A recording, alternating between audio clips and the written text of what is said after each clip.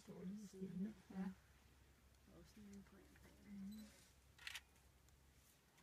Det er fordi, at der er ikke sådan nogen rigtige fjender, øh, bortset fra løver, når de har unger for eksempel. Just don't care.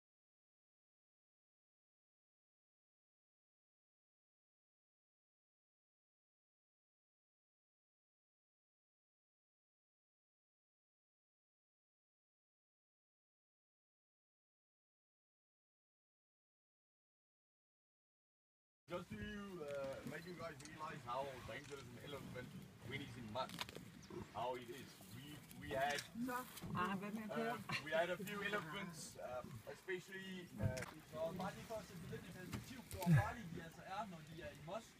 Der har de tre rigtig, rigtig store elefanter. Mofusno, Mavuso, Mofuso og Marula og Kamelle. Og så er der også en anden en, der hedder Steroids. Og de kan altså godt lide at